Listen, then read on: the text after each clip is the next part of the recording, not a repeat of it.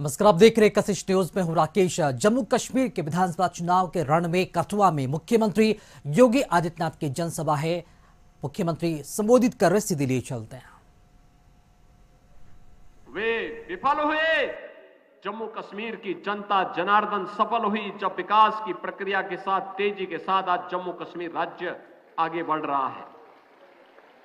बहनों और भाइयों, कांग्रेस हो या नेशनल कॉन्फ्रेंस या पीडीपी इन्होंने देश को विभाजन का दंश दिया। इन्होंने प्लान का दंश दिया।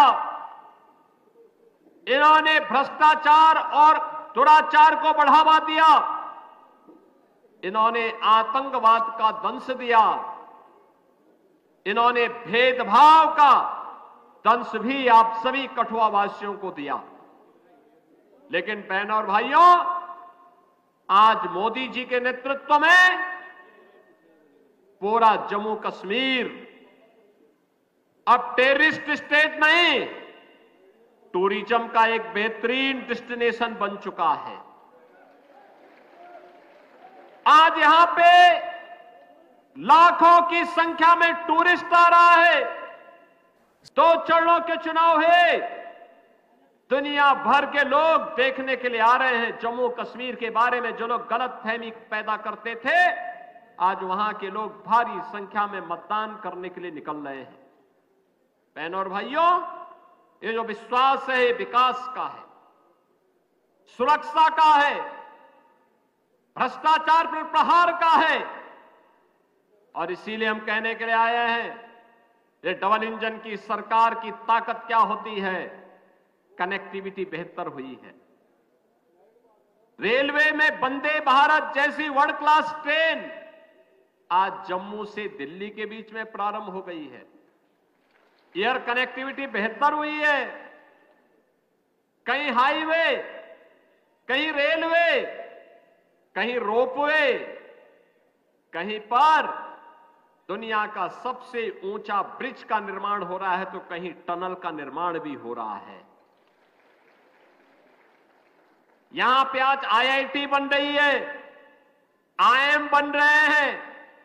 एम्स बन रहे हैं। One district one medical college के निर्माण का सपना साकार हो रहा है। हर गरीब के हाथ को कार्य है। हर किसान के खेत को पानी देने की व्यवस्था भी हो रही है। बहनों और भाइयों, याद करिए आपके पैसे से कांग्रेस के लोग, नेशनल कॉन्फ्रेंस और पीडीपी के लोग मौज करते थे। मुख्यमंत्री बनते थे जम्मू कश्मीर का और साल में आठ महीने यूरोप और इंग्लैंड में व्यतीत करते थे। चार महीने जो बचते थे, उनमें से तीन महीने दिल्ली में रहते थे। एक महीने में क्या जम्मू कश्मीर के बारे में सोचते जम्मू कश्मीर उनके एजेंडे में कभी नहीं था। यही कारण था गरीब को आवास नहीं मिल पाया। गरीब को स्वास्थ्य की सुविधा नहीं मिल पाई। गरीबों को कोई सुविधाएँ नहीं मिल पाई।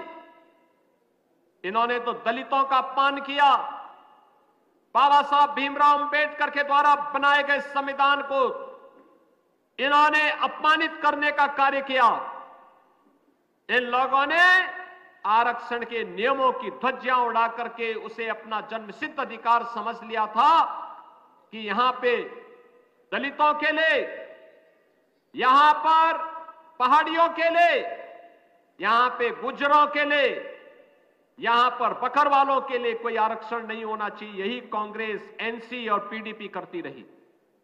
बहन और भाइयों, आज आप देख रहे होंगे अयोध्या में रामलला विराजमान हुए तो अयोध्या का इंटरनेशनल एयरपोर्ट का निर्माण भी अयोध्या में हुआ। और इंटरनेशनल एयरपोर्ट का नामकरण महर्षि वाल्मीकि के नाम पर किया गया। यह है भारतीय जनता पार्टी और मोदी जी का विजन। मैं आज आप सबसे यही कहने के लिए आया हूँ। बहनों और भाइयों, ये कांग्रेस और एनसी या फिर पीडीपी जो कहती है कि सत्ता में आए